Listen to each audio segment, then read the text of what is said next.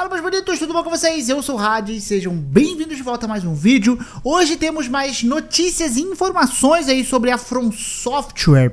Isso porque o Miyazaki deu uma entrevista pra gente aí, pra gente não, né, pra um site, e falou um pouco sobre alguns desenvolvimentos da DLC, né, como foi o processo e tal, porque eles ganharam um prêmio lá no Japão, e também falou dos futuros próximos jogos. Né? Como a gente sabe, ele tinha dado uma, uma pequena mensagem lá no Joystick Game Awards e ele falou que estavam desenvolvendo vários projetos de, alguma, de, de uma vez, né? Então a FromSoft está com vários projetos aí no catálogo, que inclusive a gente pode ter alguma coisa, talvez, se a gente pensar bem positivo no The Game Awards.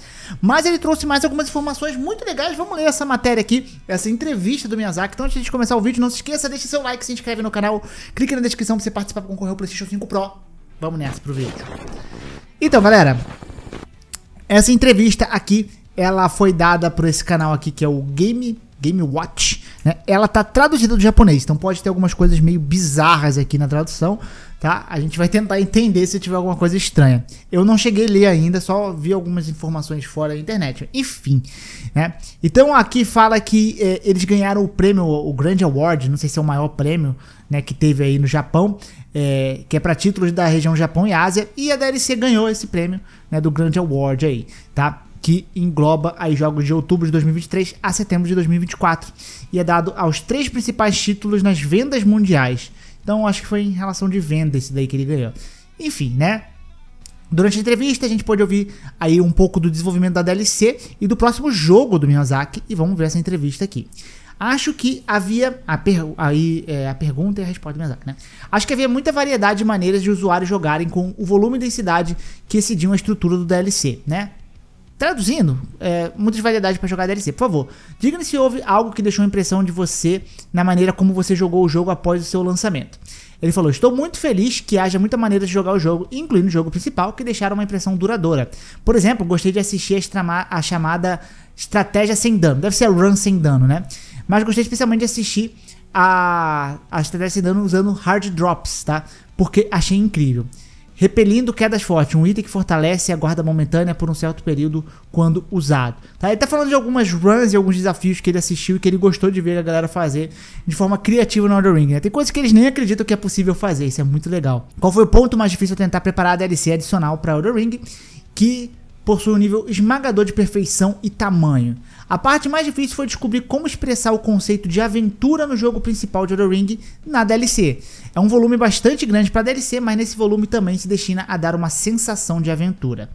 Acho que não é exagero dizer que a DLC é equivalente a um jogo único, mas você teve alguma ideia de vendê-lo como jogo independente? Mas ela falou: acho que não. Foi originalmente desenvolvido como DLC. E como mencionei anteriormente, era um volume para dar uma sensação a mais de aventura no Elden Ring, né? A ideia de poder jogar da forma independente foi a primeira vez que pensei nisso.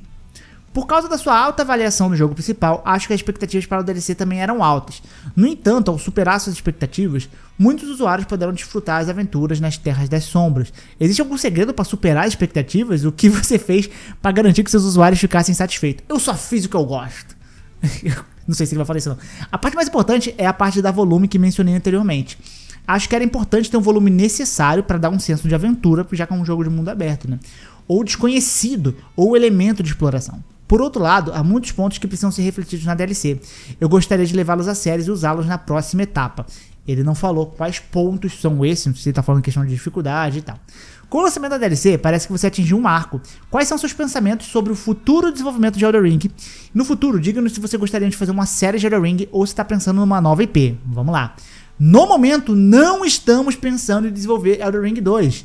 No entanto, isso não é para negar o desenvolvimento da IP de Elden Ring, tá? Foi o que eu já tinha comentado uma vez. É, eles não vão fazer Elden Ring 2 agora, mas eu acho que é algo que vai rolar no futuro e tem muita margem de exploração no, no próprio enredo de Elden Ring para ter uma sequência, tá? Quanto ao fazer, então, a From Software está executando vários projetos como de costume. Existem várias variações de projeto entre eles. Então, por favor, aguarde ansiosamente. O impacto. Então, assim, ó, existem vários projetos entre eles. Então, por favor, aguarde. Então, assim, tem vários projetos e várias variações de projeto, que dá pra gente entender que a gente vai ter algumas coisas diferentes rolando aí, que não seja só Souls, talvez, não sei, tá? O impacto da FromSoft nos jogos ao redor do mundo é imensurável. Tenho certeza que há muita pressão todos os dias, como expectativas para futuros jogos, mas você poderia dizer se há uma maneira de relaxar? Ele, há muitas maneiras de relaxar. Por exemplo, passo tempo com a minha família, ou jogo jogos analógicos. Será que são jogos antigos? Enfim. Mas não sou uma pessoa que sente pressão em primeiro lugar. Então, raramente eu sou pego pela forte vontade de relaxar. Então, raramente eu sou pego pela forte vontade de relaxar mais. Então, o cara é, é shed, né? O cara não sente nem, nem pressão, mano, sendo só um dos melhores do mundo atualmente. Às vezes, recebo a opinião de que a pressão é a situação que os usuários podem esperar. Acho que tá falando de hype. Mas acho que tal situação é uma experiência muito valiosa e difícil de obter em primeiro lugar pois sou mais grato do que pressionado. Então acho que ele tá falando meio que disso, né? Da pressão, da galera querendo novos jogos e tal. A DLC se tornou um tema quente por seu grande volume, incluindo o tamanho do mapa, novas armas, blá blá blá. Foi esse nível originalmente que você imaginou no início do desenvolvimento? Sim, no início foi planejado desde o início que essa DLC seria necessário para a sensação aventureira de Elden Ring. Tá, ele repete esse negócio de aventura. O que é aventura para ele?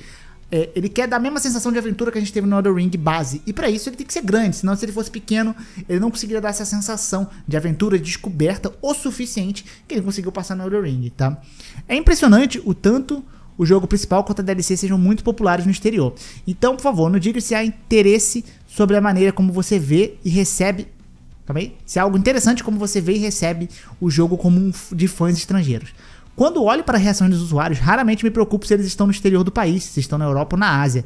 Muitas vezes sinto que não importa que país você esteja, todos gostam de jogar da mesma forma. Como um jogador autoproclamado, estou muito feliz com isso e muitas vezes é encorajador para enxergar, para enxergar, sinto-me aliviado por eu, inclusive eu, ser uma da raça de jogadores. Muito legal a resposta dele, cara. Desde o Master Up, do jogo principal até o lançamento da DLC, por favor, conte-nos qual foi a fonte da motivação para os membros do desenvolvimento. Eu não saio por aí perguntando a cada membro de desenvolvimento as suas motivações, então é apenas minha imaginação. Mas acho que a maior motivação é fazer um jogo com um sentimento de gratidão para aqueles que jogaram e gostaram. Legal também. Você está pensando em qual será o próximo trabalho? Eu ficaria grato se você pudesse nos contar sobre fantasia, ficção científica ou outros gêneros sozinho. Opa! Eu não posso responder essa pergunta. Existem vários projetos em execução em uma variedade de gêneros.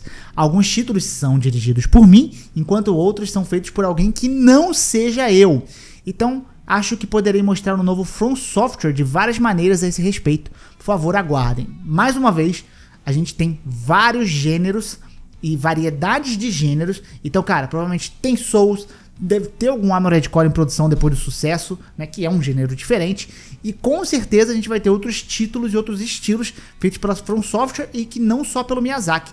Eu estou muito curioso para ver isso daí. Finalmente, você tem uma mensagem para os usuários. Ele fala que ganhamos muitos prêmios e lamento que, que tenha se tornado o mesmo todas as vezes. Mas sou grato. Ganhamos muitos prêmios e lamento que tenha se tornado o mesmo todas as vezes. Mas sou grato aos usuários que realmente jogaram e nos apoiaram. Recebemos muitos incentivos de vocês e continuaremos continuaremos trabalhando duro para fazer jogos melhores para vocês de maneiras mais maravilhosas, incluindo nossas próprias reflexões. Então, por favor, aguardem ansiosamente. Esse é o verdadeiro sentimento. E acabou a entrevista do mestre Miyazaki aí, tá? Então, galera, foi basicamente isso aí que o Miyazaki falou. A gente pode esperar novos projetos chegando aí, né? Múltiplos projetos da From Software. Eu não acredito que eles vão anunciar mais de um de uma vez, talvez. É, eu acho que a gente vai ter alguma coisa no The Game Awards, né? E eu tô muito curioso para ver qual que vai ser o próximo projeto. O próprio Miyazaki já falou em outras entrevistas que é, deu a entender né, que a gente teria um projeto menor, então ele não vai ser um projeto do tamanho do Elder Ring, mas eu acredito que vai ser um projeto bem volumoso, já que a From com a DLC fez ela muito volumosa. Eu acho difícil o novo projeto não ser grande, mas talvez possa não ser do tamanho de Elder Ring, talvez um pouco menor.